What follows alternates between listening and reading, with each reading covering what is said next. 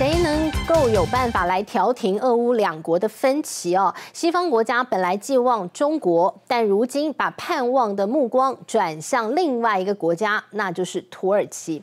土耳其呢，它是北约盟国当中唯一一个拒绝制裁俄罗斯的国家。但如今，它也成了最有希望调停成功的国家。土耳其不愿意制裁俄罗斯，其实最关键的因素在于经济面，两国紧密的经贸往来。那么，到底呢？土耳其有哪些经贸要靠俄罗斯呢？今天的大世界话题，我们就带您快来看哦。我们首先先从呃谈判开始看起，这样的一场谈判到底在哪里办非常重要。俄乌两国他们都愿意。来到土耳其，双方派代表团来到他们。都愿意信任的国家，那就是土耳其。那现在第五轮的谈判呢，已经在土耳其开始展开，从三月二十九号到三月三十号哦。好，那么为什么他们都愿意接受土耳其呢？那又为什么土耳其不愿意跟着北约其他的盟国共同制裁俄罗斯呢？土耳其的总统发言人卡林讲的这一番话，很好的诠释了土耳其政府的态度。他说呢，他们不会跟北约制裁俄罗斯。那他们就问为什么了？你是北约国家，大家要一起啊。他说：“如果每一个国家都跟俄罗斯闹翻的话，那到底还有谁能够牵起那个和谈的桥梁呢？”所以他说，土耳其的态度就是如此啊，他要负责让双方对话。他认为，普丁并不是真的要把整个乌克兰都给吃下，最后呢，还不就是为了？希望可以在谈判桌上谈出对普丁更有利的一些外交条件嘛？所以你最终要回到谈判桌。那如果所有人都跟这个俄罗斯闹翻的话，那到底谁来负责谈？所以呢，这个就是土耳其的态度了。他说他希望可以当普丁跟世界、跟北约当中的那个。沟通桥梁。那除了他说要当沟通桥梁之外呢，我们看土耳其呢还对这些俄罗斯的富豪招手，说欢迎大家，欢迎俄罗斯的寡头合法的到土耳其来做生意哦。大家知道，当俄罗斯被经济制裁之后，这些所谓的富豪寡头通通都上了制裁名单当中。那很多的俄罗斯的寡头们开始出逃，离开俄罗斯。好，离开俄罗斯到哪里去？大家各有各的去处，但。很多。到了土耳其，我们来看前两天发生的状况。就一名俄罗斯的超级富豪，他的游艇啊，呃，在这个发生战火之后，他就出海啦，离开俄罗斯，哎，来到了土耳其哦。那这是一个。那所以呢，土耳其的外长就说，欢迎这些寡头到俄罗到土耳其来。那你可以来观光，你可以来投资，你也可以就常住在这里。那甚至还有很多俄罗斯的富豪啊，大买土耳其的房地产啊，避险吗？呃，买俄罗斯的土地，哎，我买买土。耳其的一些房地产哦，一样在当地置产了。对土耳其来讲呢，这似乎也是战火当中他们受惠的地方。土耳其目前的外交态度，那你快来看。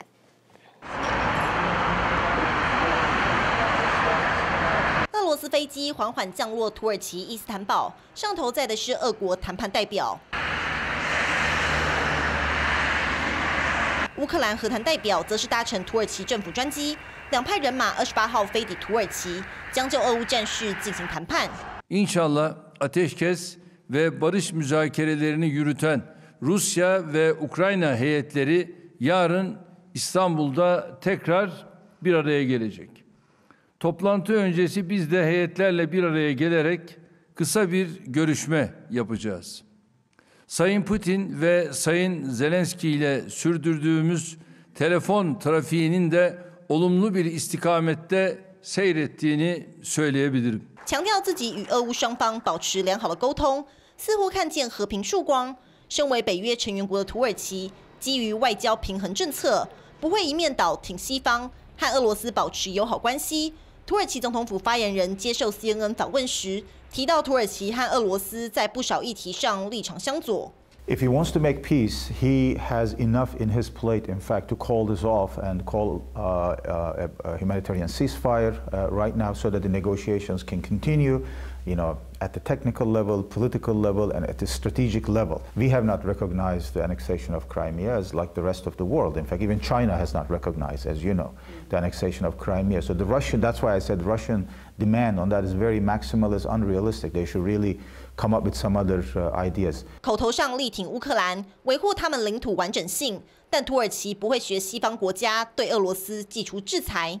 Certainly, uh, President Putin is listening to President Erdogan and to his advice and to his ideas and suggestions. You, you, can understand from their point of view that they don't trust most of the NATO countries. They don't, they don't want to talk to them anymore, uh, right or wrong. But the, the reality is that someone has to talk to the Russian side, someone whom the Russians can also trust. Otherwise, this, this war can go on for, for months, for years. And the world cannot afford another prolonged war like that, and certainly we cannot afford another Cold War. 卡林强调，外交手段才是解决冲突办法，需要有人和俄方沟通。俄罗斯入侵乌克兰超过一个月，普丁迟迟不愿撤军，欧美国家扩大制裁，甚至瞄准俄罗斯富豪，让寡头们纷纷出逃。英超足球队切尔西老板阿布拉莫维奇名下两艘超级游艇，近日分别停靠土耳其码头，受到国际间关注。土耳其外长表示，欢迎俄罗斯寡头来土耳其。We implement UN-approved sanctions. So if they, if any Russian citizens want to visit Turkey, of course they can visit Turkey. Now Russians are coming to Turkey as tourists, no problem. 这番回答是否意味俄罗斯人也能在土耳其做生意 ？So if you mean that whether these oligarchs can do any business in Turkey, then uh, of course if it is legal. And if it is not against international law, I will consider. If it is against international law, then that is another story. 根据房地产上的消息，俄罗斯富豪早就把大笔资金投资在土耳其和阿联酋房地产，希望为自己的资金寻求避险。In February, Russians bought 509 houses in Turkey Almost double the number of last year, according to the country's statistics office. 多年来，俄罗斯人一直是土耳其房地产的大买家，仅次于伊朗和伊拉克人。加上土耳其当局替购买房地产的外国人提供居留奖励，花二十五万美元买一个房产，并保留该房产三年的外国人，就能获得土耳其护照，让土耳其成为俄罗斯寡头的避险天堂。在这场俄乌大战当中，土耳其一方面两边不得罪，出手调停。一方面向出逃的富豪招手，吸引外资进驻，将外交平衡政策发挥得淋漓尽致。三立新闻叶立伟报道。好，我们看到土耳其现在的一个态度啊，他说要当起这个普丁跟西方国家的一个沟通的桥梁，但是呢，让土耳其做出这样的决定，它的背后其实是因为经济因素。我们来看土耳其的经济呢，是高度的依赖俄罗斯哦。为什么这样说？因为现在土耳其的经济可以说是岌岌可危，在历经了疫情哦，那么这个土耳其的一个内政现在可以说是非常非常紧张，因为疫情导致了这个土耳其的货币里拉。暴跌，在疫情当中，你说哪一个国家的一个货币贬值到？跟币值差不多，那你应该就要立刻想到，那就是土耳其了。土耳其的一个货币在去年啊，这重贬了百分之四十四哦。呃，你说一个货币哦，贬个几分那都很多哦，它贬了百分之四十四，而且他们的通膨啊，呃，你看我们最近在讲通膨，那全世界通膨哇，好可怕，超过百分之三，你就觉得 Oh my God，不行了，要升息。他们的通膨是百分之三十六，哎，很可怕，十九年来的新高，而他们的失业率呢，也都是十几。二十几、三十几的哦，很可怕的一个失业率的数字。那在这样的一个内政、这样的一个经济岌岌可危的状况底下，你现在要他去经济制裁一个他仰赖的一个国家，那是不可能的。那我们来看他跟俄罗斯之间的一个经贸往来到底有多紧密。首先，一样跟欧洲国家一样，那就是天然气。天然气呢，有半数呢是俄罗斯供应的。之前呢，公然说他不可能。断掉跟俄罗斯的这个天然气的一个交易是谁？德国，因为德国呢是全世界跟俄罗斯买最多天然气的国家。那德国之后第二名呢就是土耳其，他也跟俄罗斯买好多天然气。再来呢，俄罗斯帮他建核电厂。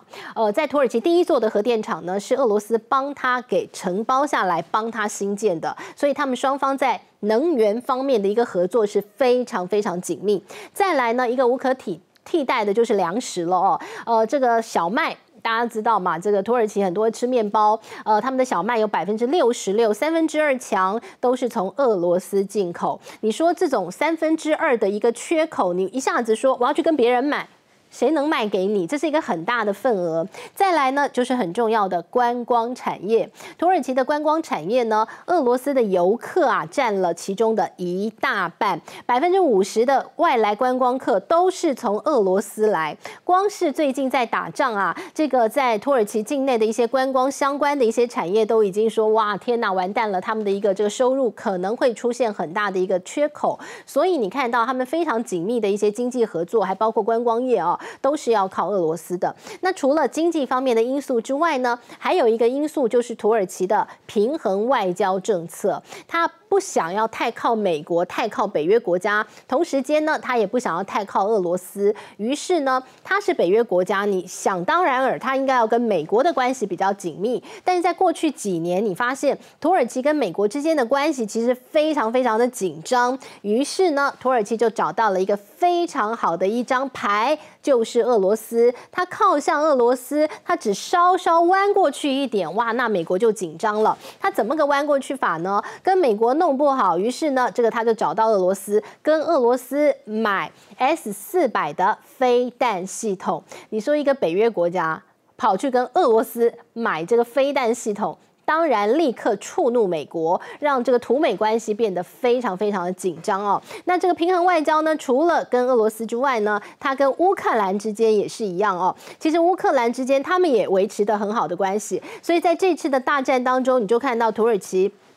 他也说我没有不挺乌克兰啊，我也力挺他维护领土的完整啊。同时呢，土耳其也提供乌克兰无人机啊，然后呢，这个提供他数亿美元啊，跟西方国家的立场是比较相近的，就是我挺乌克兰，但我不愿意谴责跟制裁俄罗斯。所以现在的关系是这样。那土耳其呢，透过这样的一个平衡外交，到处周旋，希望呢可以从中获取他最大的国家外交利益。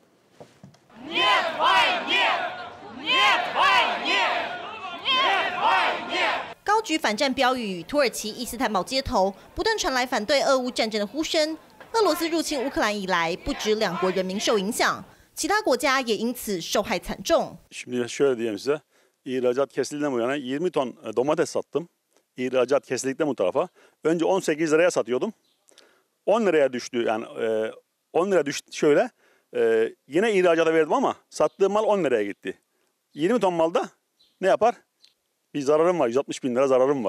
农夫实在好无奈，番茄不能卖到俄罗斯，只好以低价卖给国内市场，大大减少原先收益。俄乌战不止冲击农业，土耳其观光业也惨兮兮。饭店大厅空荡荡，以往该是旅客挤爆的盛况，现在已经看不见。土耳其南部度假胜地安塔利亚，过往半数的外国观光客来自俄罗斯和乌克兰，如今全都来不了。We had almost over ten thousand, but all of them is cancelled now because they can't come. Normally, in our hotels, forty percent Russian customers, but in this case, we lost it. 当地相馆老板，你看我，我看你。没了观光客就等于没了收入。Tabii ki bizi çok etkiledi. Yani e, bizim otelimiz yüzde yetmiş Rus müşteriyle ağırlıklı.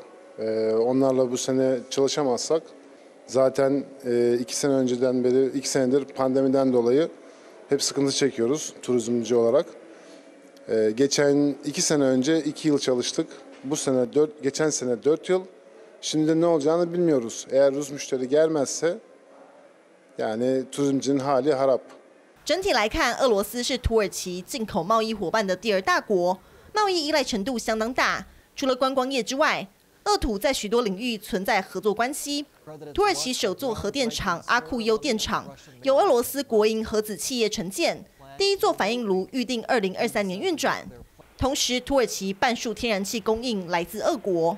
Turkey is the second largest buyer of Russian natural gas after Germany. Russia is Turkey's largest natural gas supplier. 不止能源依赖俄罗斯，土耳其的小麦与相关制品也高度依赖俄国进口，约占百分之六十六的比例。因此，俄罗斯可说是土耳其的粮仓。两国的经济关系紧密，军事上也有武器买卖。身为北约成员国，土耳其却不甩美国抗议。二零一七年与俄罗斯签下 S 四百防空飞弹系统的购买合约，此举可是让美土关系面临紧张。我觉得，既然武器交易，它肯定不是一般的商品交易，它是富有政治属性，嗯，也承担着非常大的外交的这样一个功能。从这个意义上去看呢，呃，我觉得土耳其现在与其说是钟情于 S 四百，不如说是钟情于俄罗斯，嗯，想利用俄罗斯作为一张牌。来使土耳其在不仅仅是土耳其与北约之间、与美国之间，同时也是凸显土耳其在整个中东地区的一个影响力。土耳其脚踏两条船，向俄罗斯买 S 四百，也同时等待美国交付百架 F 三五战机，让人摸不清头绪。那么，土耳其与俄罗斯之间的除了正常的其他的像包括能源的这种往来、商贸的这种往来以外，那武器交易作为一个。非常能够体现双方这种紧密合作的，呃，双方这种互信程度的这样一种商品，那为什么土耳其不做？嗯，所以这也在一定程度上来讲，S 四百所承担的，与其说是土耳其防空的需要，不如说是土耳其在中东游戏和作为呃，在中东一个主要玩家的承载它的一个政治上的经济军事方面，俄土两国分不开，特别是土耳其国内经济受到新冠疫情重创。里拉重贬，通膨率暴增，失业率也居高不下。原本已经摇摇欲坠的经济困境，如今又受到俄乌战争拖累，土耳其只好出来当和事佬，希望战争尽快落幕。三立新闻叶里维报道。